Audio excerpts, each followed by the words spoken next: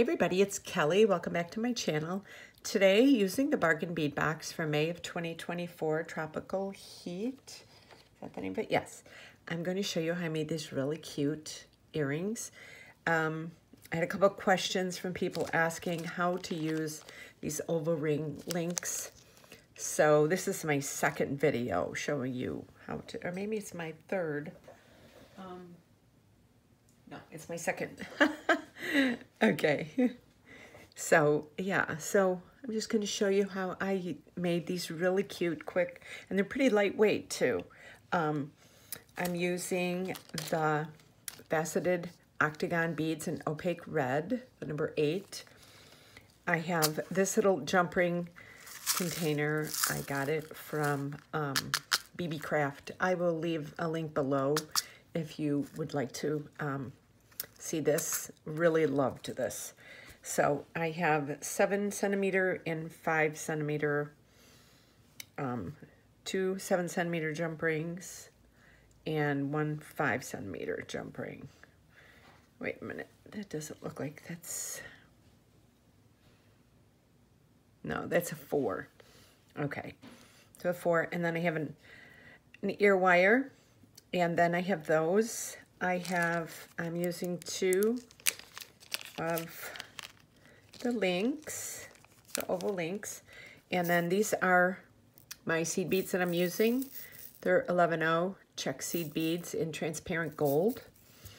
And then I'm using a number 10 beading uh, needle and some Beadalon Wildfire. I will leave a link below to this as well if you're looking for this. Um, so this is a pretty easy tutorial. So what I'm doing, let me move this up here a little bit so it's still in view. And then what I do is I take the jump rings and I add some um, seed beads to them because it just gives them a little bit of sparkle. If you look at it, it just kind of, you know, decorates them up a little more so they don't just look like plain jump rings. I do this a lot with my jewelry. So, um, Okay, so I'm going to take seven of these, and then I'm going to put two gold uh, seed beads in between, and then when I get up here, I'm going to do two on each side. So here is the two to start the top. Let me get this up here. So I've got two, and then I'm going to do one, and then two, and I'm gonna, just going to keep repeating this. Until I get seven on here. Five, four, there's three more. Five,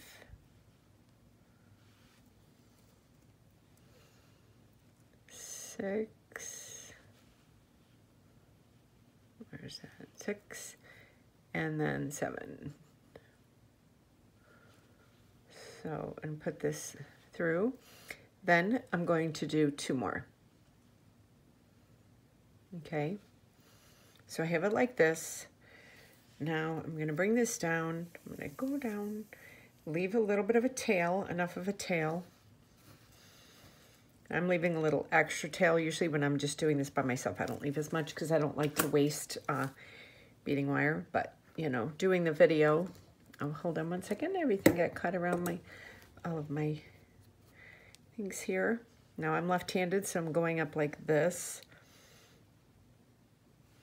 And I'm going to go up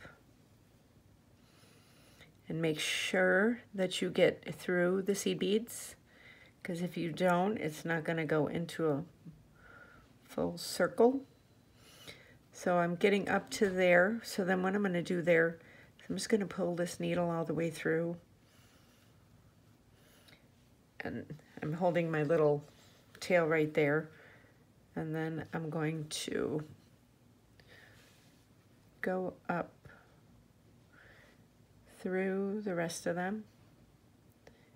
And you get up through there. They're not going through as well. Okay, so then I go up through there. And then these are the last two right here. And let me see. There we go. Actually getting a cramp in my finger from this. okay, so now I'm going to pull this all the way through. I'm going to pull out a little more tail like that and hold that. And I'm going to pull all this down until it's kind of like this.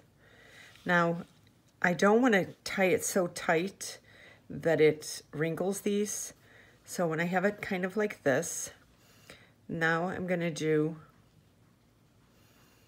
my knot. I'm going to do the first one like that. And then I'm going to do the surgeon's knot, as they call it. One, two, Okay, so we have that done like that. So right here, so now I'm going to take 11 seed beads. One, two, three, four, five, six, seven, eight, nine, ten, eleven. I'm going to bring this down. And now I'm going to take one of the oval rings, put that through. And now I'm going to go up again through all 11 of those. Let me see here. There we go. And I'm going to go through that one more time. So,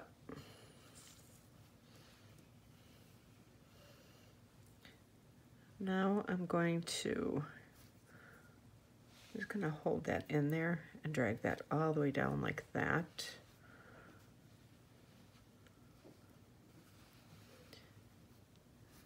And kind of take my nail and just kind of pull it down until it gets to where, you know, you can't see the thread. Then I'm going to take the beading thread and I'm going to tie a knot in it so that you won't be able to see the thread. So I got one and I'm going to do the surgeon's knot again. One, two. I'm to pull that tight. I'm to take my bent chain nose pliers. Just kind of give that a nice little tug right there. So that's how it is. And then I'm going to cut this little piece of wire right here. Now this, I consider it to be the back. So when I go to, you know, put the um,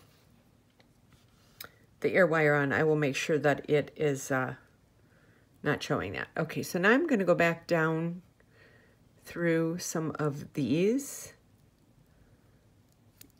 just to kind of get me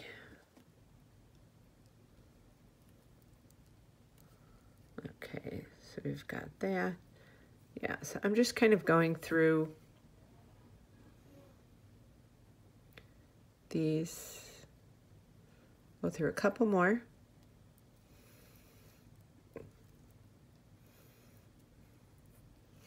Like this. And so here I am this far. So I'm going to take flush cutters. I'm going to do this. I'm going to put the beading wire aside. I'm going to turn it this way because this is the way I want to have it. So now I'm going to take, I'm to take this bigger jump ring here and I'm going to put, I'm going to open it up and I'm going to get it kind of close down there. I'm just going to go and I'm going to start threading some seed beads on here. This is my, my favorite way to do it because especially if you have a good beading mat like this. Three, four, get a couple more, five, oh, five, you could do like seven, six, seven, I got like seven. So now I'm going to take that, and then I'm going to put this on there too. And now I'm going to close this up like that. So I have this right there. So this is laying like this. I'm going to take one more. I'm going to open this up. Where's the opening? Oh, here it is. Okay. And I'm to do it. Go back down again like that. I'm to put like seven or eight. So I'm to do one. Okay, one, two, three, four, five, six, six, and then we'll get one more, seven, if I can get that on, six, and come on, seven, there we go. Okay, so now, oh, before I go and do that, let me lay this down here. So this is the smaller one that I'm going to use right here. I want to make sure that's closed up. So I'm going to take this jump ring, I'm going to put it through here, and then I'm going to take the smaller jump ring and put it on there as well. I'm going to close this up like that. Make sure it's closed really well. Then I'm going to take this jump ring. Now, because I'm gonna, when I put it on, it's gonna want it to go a certain way. I'm gonna make sure that that right there, that it's gonna be facing the way I want it to. So if you have a little bit of string or anything, one second, let me, so here's this. Okay. So now, and like I said, don't forget to use my code BN Jewelry BNJ2 if you uh, are interested in this this box. So I love the way these turned out. They're, and they're lightweight, so they're not heavy. They're just really cute earrings. I've been having a blast with this Tropical Heat Bargain Bead Box. Um, I think this is my fourth tutorial. I usually don't do that many with one box, but this one's been really fun. So, um, yeah, so let me know in the comments what you think of this, if you think you might make it. And I would like to thank everyone for watching and stay tuned for that next video. I know you're going to love it. And all of my information is below in the description and you have a great day.